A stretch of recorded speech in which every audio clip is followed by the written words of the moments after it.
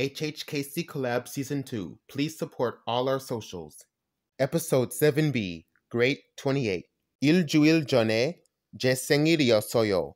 지난주 수요일에 28살이 됐어요. 그렇지만 어떻게 축하했나요? 지금 알려줄게요. 투르드 프랑스를 보았어요. 우크라이나 영부인이 의회에서 연설하시는 것을 들었어요. 풍선과 카드를 받았어요. 고든 크라리나는 식당에 가고 제 생일에 갔으니까 무료로 먹을 수 있었어요. 레스카리의 생일도 준비했어요. 22일 금요일이었어요. 7살이 됐어요. Thank you for becoming Hammies and Chatterboxers. 다음 시간에도 봐요.